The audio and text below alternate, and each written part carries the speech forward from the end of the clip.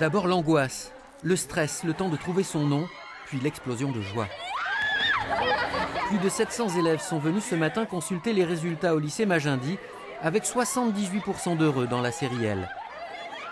Mention bien Moi aussi. Moi aussi Oui, c'est ma fille qui a eu mention, très bien. Elle a beaucoup travaillé. Vraiment, elle le mérite. J'ai envie de pleurer de joie. D'ailleurs, j'ai pleuré de joie, j'en peux plus. Euh, C'est le soulagement, c'est. Je suis trop contente. Mention assez bien.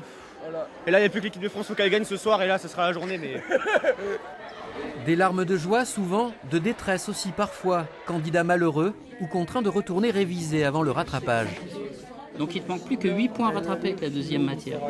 Si tu as 14 dans l'histoire, ok? Ah ouais, je le voyais pas comme ça. En fait, ça me- c'est Voilà. beaucoup plus dur que je le pensais.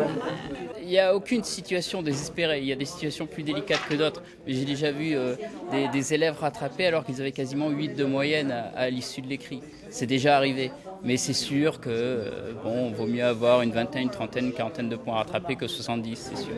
Quatre jours pour retrouver les points perdus. C'est mardi que les élèves admis au second tour devront présenter deux matières à l'oral. Il me manque 39 points, donc euh, voilà, ça va aller. Je vais choisir philosophie vu que c'est coefficient euh, 7 et euh, littérature. Je suis pas assez bûché en philo, on va dire, et euh, j'ai eu 8, donc euh, je vais essayer de rattraper ça au rattrapage. En philo? Ouais, en philo, et en histoire aussi un peu. Un dernier effort pour les uns, les vacances aussi pour beaucoup d'autres. Sur les 31 201 candidats au bac dans l'Académie de Bordeaux, plus de 80% ont été reçus.